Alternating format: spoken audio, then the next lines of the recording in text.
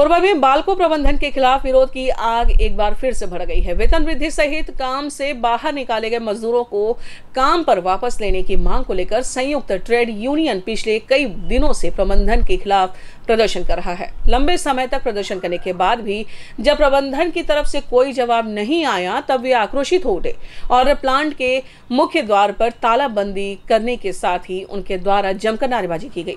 भीड़ को उग्र होता देख पुलिस की टीम ने मोर्चा संभाला और लोगों को शांत किया। नहीं चलेगी नहीं चलेगी। नहीं चलेगी नहीं चलेगी। नहीं